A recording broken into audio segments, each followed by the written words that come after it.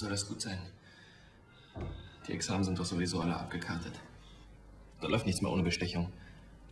Du hast die Klausur verhauen. Und nicht Dings hier, Heckfurt. Echt? Na, das ist super. Aber wenn wir jetzt in Deutschland wären zum Beispiel und wir täten uns heiraten, gell? Und dann wären wir doch eine türkische Familie, oder nicht? Halb deutsch, halb türkisch, Mensch. Ha ja, schon, aber verstehst du, dann bist du der türkische Mann und ich werd Frau und dann hätten wir ein türkisches Kind, das sieht man ja noch schon.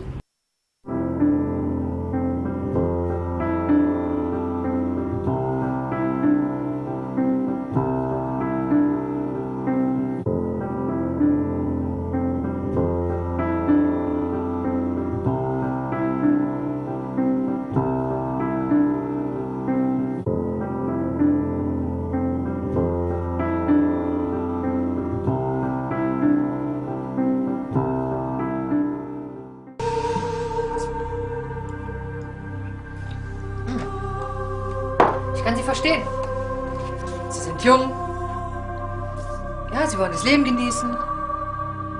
Vielleicht waren Sie überfordert. Ich meine, ihr Mann hat sie sitzen lassen und dann hatte sie auch noch eine Fehlgeburt.